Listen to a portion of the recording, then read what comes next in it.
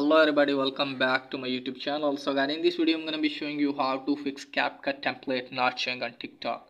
So let me show you here. If CapCut template not showing in your tiktok then it means you have to update your CapCut on tiktok first.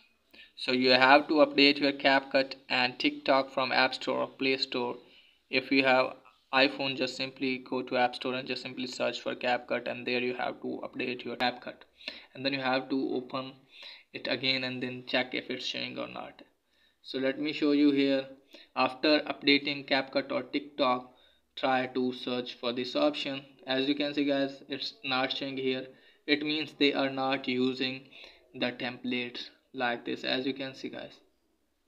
So this man is also not using this template like this. As you can see guys it's showing here.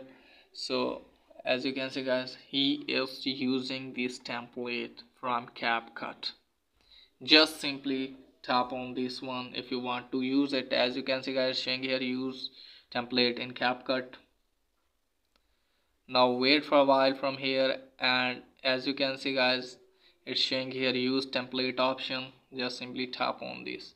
Now you can select your video from here I'm going to select this video and after that you have to tap on preview option. As you can see guys showing here preview. Just simply tap on this. Now as you can see guys effect is loading.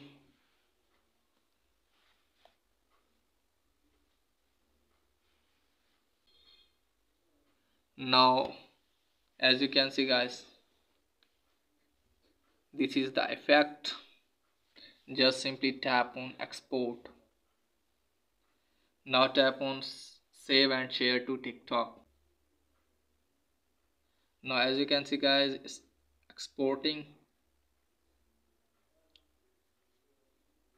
Now just simply wait for a while and just simply you have to follow the process to share this.